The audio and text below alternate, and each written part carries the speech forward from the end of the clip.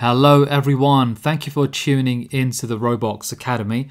In this video we will be looking at the different types of CCTV cameras. Now just before we get started there are many aspects to a CCTV camera. We have covered the analog and IP formats in a different video. There should be a link that appears around this um, mark if you haven't watched that and would like to know more about analog and IP cameras. But in this video, we will concentrate on the different styles of cameras.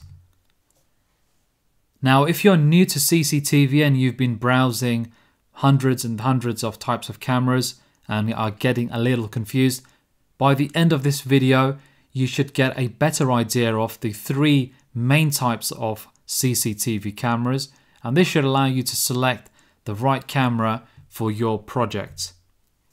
Now, like I said, although there might it might appear to be hundreds of different types of cameras, I'm going to boil it down and actually tell you there are only three types of cameras.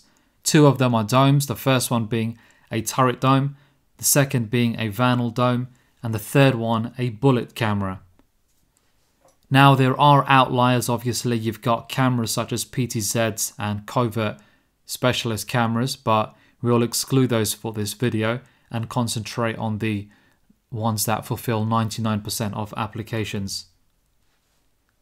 Now let's start with the turret dome. Um, it's my personal favorite.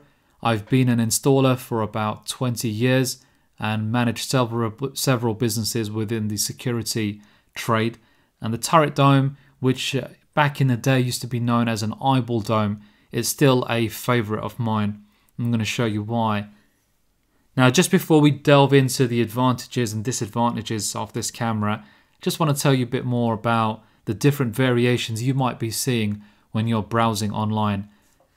So let's take the turret dome. Now, all three of these are turret domes, although they look slightly different, and the one on the right appears bigger. The, the reasons for the, uh, the, the change in look and size is due to the lens and infrared variation. So on the left hand side, you can see it's a, a slightly smaller camera um, with limited infrared, about 15 meters.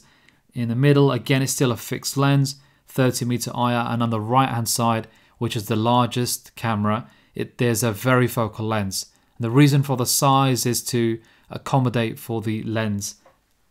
Now you'll see the same thing in with a Vandal dome. You'll see three different sizes and you'll notice the same thing with the bullet. So don't let that put you off. Um, they are still all the they they they fall under the umbrella of that particular style. Another thing to be aware of is that the domes might come with mounting brackets and while it may appear to look like a different camera, it's not. It's simply a, a dome plus a mounting bracket. Now the reason you might want a bracket like this is, for example, let's take a narrow alleyway. You want the camera to protrude off the wall and not mounted direct. Um, sometimes when you mount a camera direct onto a wall in a very narrow space like an alleyway, you get a reflection back off the wall. And this is why you might see brackets like this. But it's still a turret dome, and that's the point of telling you this. Here's another example of a vandal dome using a right angle mounted bracket. Again, it's just a Vandal dome plus a right angle mounted bracket. Now let's tune back into the turret dome. If you Google turret, you'll get a definition like a tower within a tower, or in military equipment, it's a mechanism within a mechanism. Now, how is this relatable? For those of you who are new to CCTV, I'm just going to give you a breakdown of what when you open up a turret dome, this is what it looks like. So you have a mounting base, you have the enclosure, the main body, which is the actual camera, you can see actually sits on a ball. And then to close that all off, you would have a mounting ring. So that's why it's called a turret, it's because it fits within these three different parts, um, almost like a, a mechanism within a mechanism. Let's tune into the advantages of a turret. The first thing you can see is that your cables are nice and hidden because they fall behind the base plate. If you're fitting in a house, this might look like the cables falling behind the soffit board. Uh, with it looking nice and tucked away. Here's an example of an installation in the United Kingdom. You can see the front door on the left, and this is a brilliant choice for this type of application. Not only does the camera look nice and discreet, the cables are hidden and uh, doesn't protrude out too much and it looks like it's meant to be there. In this type of application, the last thing you want is a bullet camera. Uh, mounting a bullet camera not only increases the security risk because you could essentially hang off the bullet and, and push it off. Um, it's it's it's a, a bullet camera you want to fit out of reach. So this is one of the advantages of a turret is that you've got all the technology nice and compact and it looks looks the part. Another advantage is let's go back into the design of the turret. Because the camera fits on a ball, you can ceiling or wall mount it. So you can actually fit the same camera on the wall and just maneuver it, uh, maneuver the ball so it's facing the right way round. Now in these pictures, you can see the little box above, that's known as an IP enclosure. What that does is that's where the short cable from the camera meets the cable that goes back to your recorder. You don't need to use this. Sometimes you can actually get that cable fed straight through the wall. Other times you can use what's known as a deep base, uh, which is designed for that particular camera. Um, that allows you to have the junction um, sit right behind the base plate. Another advantage of the turret, which you may or may not be aware of, the reason it looks the way it does is because the lens and infrared are separated by a different ring. This prevents something known as IR bleed, which can occur in other cameras. We're going to go into this a little bit later. So if you look at the images on the left hand side, the reason those two circles exist, the first one is actually an infrared and the one on the right is the lens.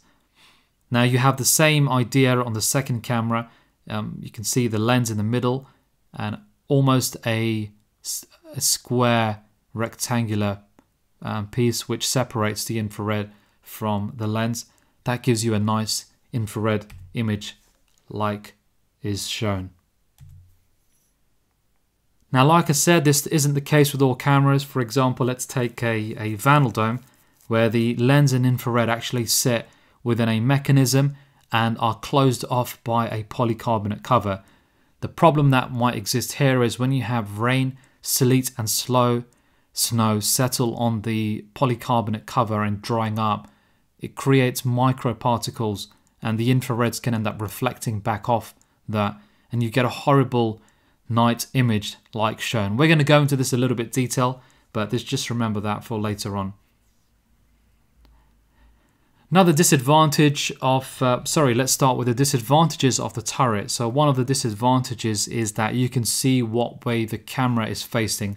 Now this isn't a disadvantage per se, because, you know, oftentimes you want people to know that they are being recorded. When you, someone approaches your driveway, it's good for them to know that there's an infrared glowing and they're under surveillance. But in, in other applications, this might not be the case We'll go into that a little bit later on. Another disadvantage of a turret is that it's not completely tamper proof. So at very, very low heights, and I would say this isn't actually a problem in general applications. It's only in very, very high risk environments where that you're known for cameras to have been damaged. You might want to avoid the turret because the direction that the turret is facing can be moved about at very low heights. If the camera's within reach, uh, perhaps you might want to avoid the turret. But again, like I said, that's only in high risk environments. Using it for general domestic, it's not an issue. And also remember, before someone lays their hands on the turret dome, you've already caught them on the camera. Mm. But like I said, in very high risk environments, you might want to look at another dome. And that leads us onto the vandal resistant dome. And from the name, as you can tell, the reason it's called uh, Vandal Dome is because it's vandal resistant. The cover that protects the camera mechanism is usually made out of polycarbonate, which is very difficult to break. I mean, to be honest with you, you can break anything with enough force if you're forced to do it, but it's a very difficult camera to break. If you are going for this, look out for um, uh, the international standard known as IK10. That gives you some guarantee that you're buying a proper vandal resistant camera. So in very high risk environments, this is a great option. I used to do uh, some consultancy for um, some nightclubs in London, and we used to choose the Vandal Dome because they were fitted at a lower height. And you can imagine what the uh, drunk Brits on Fridays are like. Um, not the not the most pleasant of people, and so the Vandal Dome is what we chose for a number of nightclubs. Uh, we actually solved the night vision issue with a um, technology I'm going to show you later on. So like I said, when the camera's within reach, this might be a good option. The other good thing with a Vandal Dome is because of the non-reflective um, or almost a reflective type of cover, when you're looking up at the Vandal Dome, you can't see what way the lens is facing. This is actually an advantage for certain retail applications in large spaces.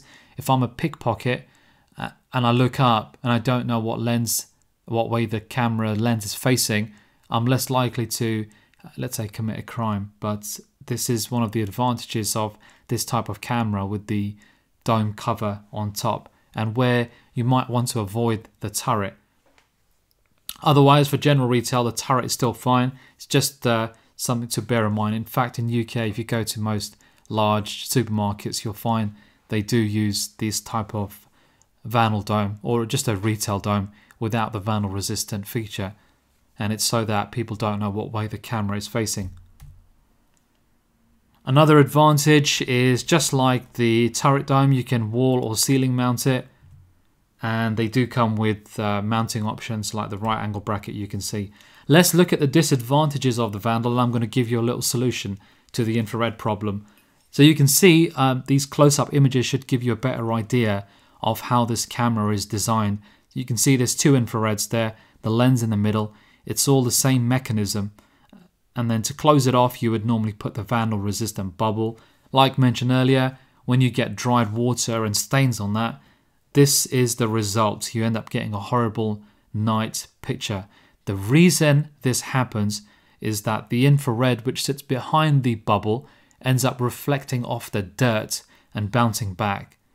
The other problem you might have is if it's not sealed properly, you have what's known as IR bleed, where the infrared is almost leaking in to the lens. There is a solution for this, which I've shown here. Now, both of these images are uh, on the same site. So it was initially fitted with the Vandal Dome with some infrareds, and you can see the type of image the customer was getting. And they switched it over for a low light Vandal Dome, which doesn't rely on the infrared. Now, the other advantage of the low light technology is you get a color picture. While the image on the right hand side may appear to be uh, lit up, if you were to go there at the physical site, it's very, very dark. The reason it's lit up is because of the camera's software processing, which gives you a nice color image like you can see here. So just bear that in mind if you're going to use a Vandal Dome, don't depend on the infrared. Other manufacturers seem to have done a better job at the design, but I would just say generally avoid using the infrared on the Vandal Dome. If it's well lit up, uh, just one, sorry, one note I should have mentioned that if you're going to choose a Vandal Dome with a low light feature, each manufacturer has their own proprietary technology. They call it all sorts of things, owl vision, dark vision, and uh, whatever vision you want to give it. But the idea is the same. It's that the camera operates at a very low lux level. Uh, we'll touch on this on another video, but just bear that in mind that the low light uh, technology, it does need some light. You can't generally operate that in pitch black. So either some street light or some sort of lamps. You can see here with the image on the right, there are some um, so pillar lights. The reason they chose a Vandal Dome on this site, by the way, is that's a gate for the residential premises and the dome is fitted on the pillar, which is within reach. Um, like we explained earlier, that's why it's a better idea to use a Vandal dome. And uh, to overcome the infrared problem, you go for one with some low light technology, as long as you have some lighting around the area. Finally, and I know we haven't given it much love yet, is the bullet camera, which is the original type of CCTV camera. For those old people like me who've been fitting these for many, many, many years, um, you would have known early in the back in the day, the bullet camera was the original type of CCTV camera. You would have a body camera sit inside a housing, plus a lens, plus an infrared lamp, and those four or five components is what would make up the bullet camera. These days, it's all built into one nice piece of kit. You will see the bullet camera still used heavily in commercial environments, and that's because it's a great visual deterrent compared to the domes. This one looks like a bad boy. Another advantage of the bullet is you get full motion on the brackets. Um, it's slightly easier to maneuver in different angles. Again, great for commercial and large spaces, warehouses and shopping aisles and warehouse aisles. Um, Bullet's a great option for that. Another advantage is like the turret these days, they have the infrared and lens separator, and that gives you a great night image as shown. By the way, just like the Vandal Dome, the Bullet and turrets also can come with a low light technology option where you get a color image at night as opposed to a black and white. So we'll touch on this on another video in regards to night vision, but just bear that in mind as any of these cameras can come with the low light technology, but you do have to have some lighting, some street light to uh, light it up, not a lot, and you will get a nice color image. Another advantage of the bullet is because of the size, you can actually squeeze um, all types of lens variations. So most ANPR cameras, that is your number plate recognition cameras, will almost always be a bullet. That's because the size of the camera allows for this type of technology to be packed in. Disadvantages of a bullet. I know many of you are buying kits online, etc. And I would just say if you are buying kits with bullets, just avoid fitting them too low. You want to move, this should ideally be completely out of reach. But that's one disadvantage of the bullet is aesthetically, you might not want something protruding out your soffit board. So for example, here where we've used a turret dome in a domestic installation, the bullet might look a little bit ugly. Not only is it a little bit ugly, it can you can yank that off if it's within reach. So it prevents a it's a security risk. It's okay for higher fitting, um, for and therefore it's a great choice for commercial. That's it. We're all done. Just before we finish off, let's do a quick summary. Turret dome my personal favorite and should generally be a first choice for most of your applications, whether it's residential or commercial. You can wall or ceiling mount it. You've got a good lens and IR separator for a great night vision. Don't forget these cameras also come with a low light technology if you want color image at night, but you do need to have some street light. I would say avoid this camera in very, very high risk areas. Instead, use uh, dome number two, known as the Vandal dome.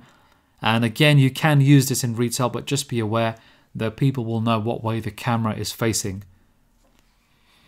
Vandal Dome, great for very high risk environments, nightclubs, public places. In fact, you'll see a lot of councils in the UK and different countries choose the Vandal style of camera for their public spaces because it's a high security camera. Uh, it can be wall or ceiling mounted and good for retail environments because you can't see what way the lens is facing. Don't depend on the infrared on this camera unless you're going for a super duper expensive and the manufacturer is guaranteed a great night vision. Instead, I would say is fit this camera where there is some light and use the low light technology. Um, so you can look at the lux level and should be able to measure that up. Other than that, it's a great choice. Finally, Bullet, great visual deterrent. Uh, wall or ceiling mountable lens and IR separator with great night vision again. This should also come with a low light technology option if you do need uh, for that. Uh, advanced features like ANPR cameras, you'll almost always have to go for a bullet due to the size. And also, if you want very, very large lenses, again, you'll have to depend on a bullet type of camera. Do not mount this camera too low.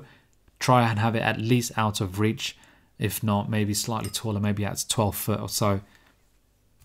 That's it. So now we've touched on analog or IP technology in our previous video. This has covered the style of camera. I hope you've gained enough information to know more about CCTV and pick the right camera for your job.